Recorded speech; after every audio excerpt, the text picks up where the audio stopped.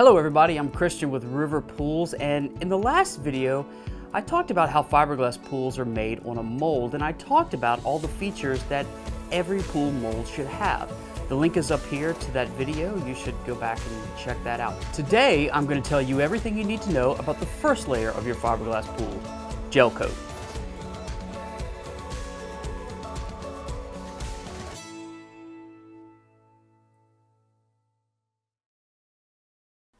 Here are the three things to take away from today's video.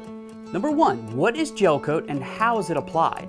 Number two, what is polymerization and why is it so important to the gel coat finish and the rest of your pool? And number three, what is Crosslinks composite technology and why should you be looking for it when shopping for an in-ground fiberglass pool? So let's tackle the first. This is gel coat. It's basically a colored resin that is applied with compressed air and a spray gun you want your gel coat applied in three passes, resulting in a total thickness of 25 to 30 mils. Too thin, and you could possibly get blisters due to an improper cure. Too thick, and it can lead to cracking.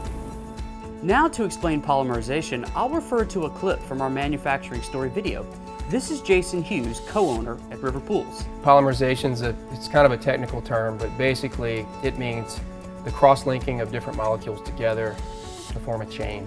And the stronger the chain that we have with our composites, with our fiberglass, the stronger and more durable the product is. Let me demonstrate what Jason is saying. Let's suppose that each one of these shackles represents a molecule of gel coat. What we want to achieve is a bond and connection, a cross-link between all molecules so that the finish is durable and will stand the test of time. This cross-linking process is something we've developed into what we call Crosslinks composite technology, which is a series of best practices that we do when we manufacture pools to make sure that we promote polymerization, cross-linking. Which brings us to our third takeaway from today's video. You see, Crosslinks is our commitment to not cut corners. When you see this logo, you know that best practices are being used to promote polymerization the key to building a long-lasting, durable fiberglass pool that will stand the test of time in your backyard. What are the Crosslinks best practices when it comes to your gel coat layer? Well, the first is the gel coat catalyst. It needs to be in a concentration of 1 to 2% depending on environmental conditions. The second is temperature. Let's head back to the shop and I'll explain why. Temperature is a really important element when it comes to shooting gel coat onto a fiberglass in-ground pool. We want a minimum temperature of 70 degrees for both air and the mold, although 77 degrees is the optimum. We use infrared heaters in the ceiling controlled by wall-mounted thermostats to control the space temperature. And before we begin shooting gel coat, we check the mold temperature with a thermal imaging gun. The third is controlling the moisture in our compressed air system. Let's walk back to the shop one more time and I'll explain more.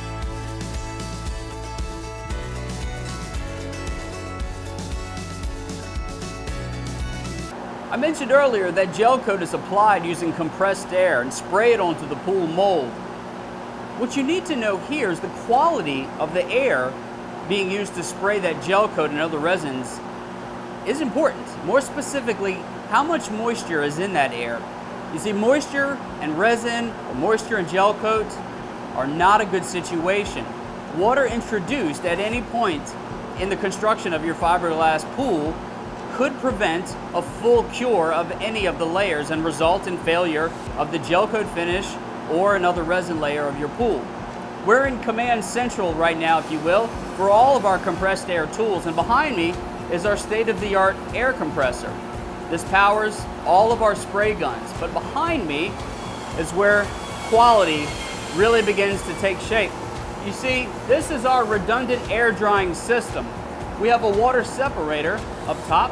So it comes out of the air compressor through a separator, and this is our initial point of pulling moisture out of the air before the air reaches an air dryer. After the air dryer, it actually goes through a second separator. So we have three steps to remove moisture all before the air reaches the tool that applies the gel coat or another resin layer to your pool. We want to achieve the perfect cure. Water won't allow that. As a homeowner, you want to trust that the product you purchased is going to be long lasting and worry free. And as an installer, you want to know you're partnered with a manufacturer that understands what factors produce a lifelong lasting pool. And you want to be partnered with a manufacturer that stands behind their products. In our next video, we'll talk about the second layer of your fiberglass pool, the vinyl ester chop layer. Stay tuned. This is Christian with River Pools. Catch the wave.